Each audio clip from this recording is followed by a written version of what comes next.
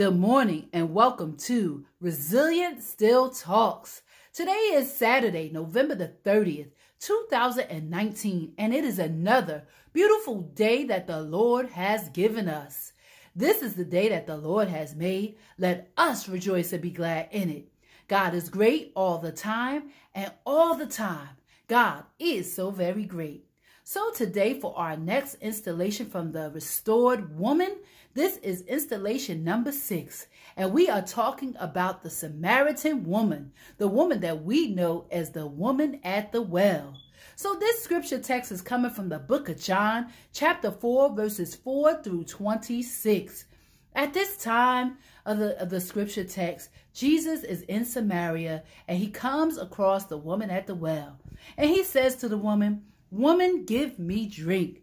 The woman says to him, You are a Jew. Jesus still insists that the woman give him the water to drink. And then Jesus starts to talk about a water that once you drink it, you'll never thirst again. Once you drink this water, you will be whole. Once you drink this water, you will never thirst again. And the woman says, Tell me more about this water. So Jesus begins to talk about the living water. So the woman says, I would like to have some of this water.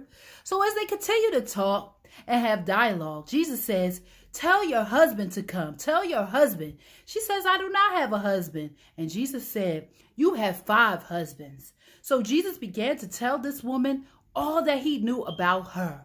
So this woman was convicted by Jesus because Jesus knew all about her.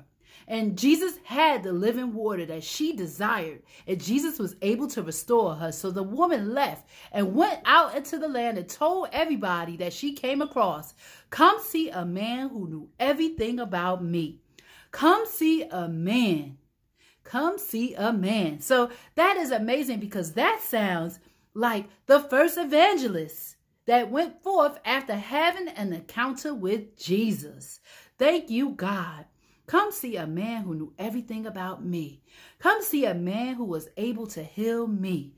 Come see a man who did not treat me any different because of what I've done and what I've been through.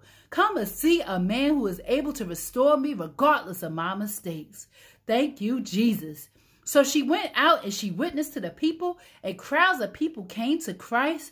Crowds of Samaritan people came to Christ and were saved. They were saved.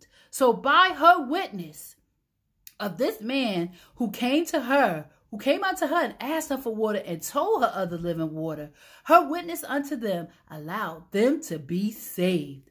Thank you, Jesus. So our restoration is not just for us. Our restoration has a purpose. God has a plan for our restoration that we let other people know about that man who is able to heal you, who is able to comfort you, who is able to take away the pain, who is able to make you whole again. Come see about a man. So that is our charge to keep, to let people know about our God, to be a light that shines so that other people may know our God, may want to know about our God and glorify him in heaven. Thank you, Jesus. So as I leave you on this last day of November, remain blessed, remain resilient, keep walking and talking with the Lord and share your restoration story. God bless you.